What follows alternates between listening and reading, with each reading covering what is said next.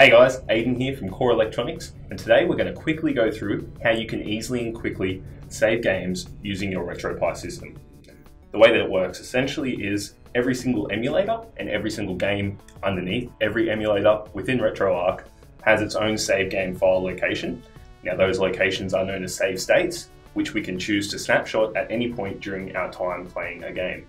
For example, if we're halfway through level one of a game, we can um, save state at that point and it will save it to a numbered slot, starting from zero and going all the way up to whatever you can make it to.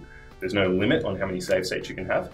And then at any point after that point, we can hit a hotkey or a combination of keys on our controller that will revert us instantly back to that point in time. Alongside of that, you can also have typical save game data, as you would imagine that you would have in any of the old retro games. There was some on um, on the console storage for those sort of save games. And when you beat a boss or something, you'd be able to revert when you turn on your console the next time to that start point. So there are a few, those parts are a bit more far and few between, but the save states is the absolute best way to do it, best way to manage it.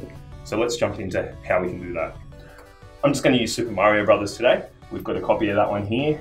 Um, and we've got the ROM installed on our RetroArch Again, take a look at setting up your controller because you'll need the controller to be mapped correctly. And the only other thing you'll need is yourself. So grab your RetroArch controller out and don't do what I've just done. We'll use the controller for now. So go into our game and I'm just going to demonstrate this really quickly. So I'm just going to do Super Mario Brothers.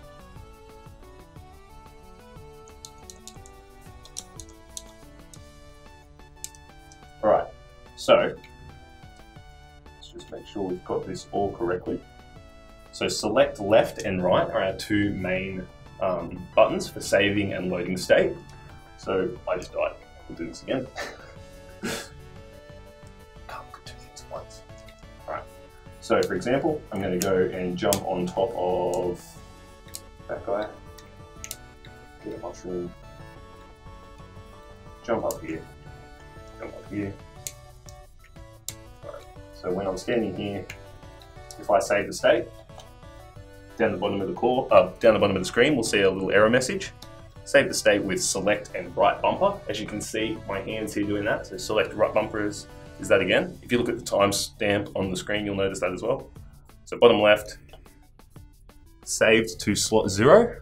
Now if I run my merry self down here, and I use the other hotkey, which was select and left bumper, so we can see that. Look at what happened on the screen when we do that.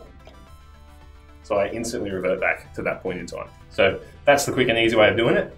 All right, so I can hear you guys saying, what if I have multiple save states? How do I manage my multiple save states and all that sort of stuff? And that's really easy as well. What you can do is just press the hotkey, select and directional pads on the D-pad and you'll get the same status message in the bottom left-hand corner of your screen and it will say save slot um, change to number one or number two or whatever. So we can just do that really quickly, going to the right. So I'm now in save slot one, two, three, four. All right, so now I'm now referencing save slot four. If I wanted to go and load my save game, I can't.